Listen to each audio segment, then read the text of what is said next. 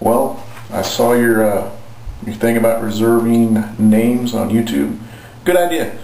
So I tried for Dr. Pepper, taken. I tried for Coke, it's gone. I tried quit meowing, cat, we're making a video.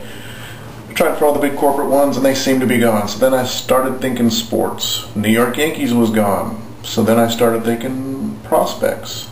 Like LeBron James a couple years ago would have been good. So being the basketball fan that I am, I looked up Michael Beasley, top prospect, high school prospect, going to play for Kansas State. It wasn't taken, so I took it.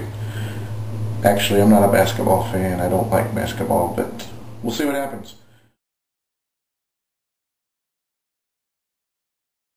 On a side note, my boss has started referring me to me as Fat Elvis. That hurts.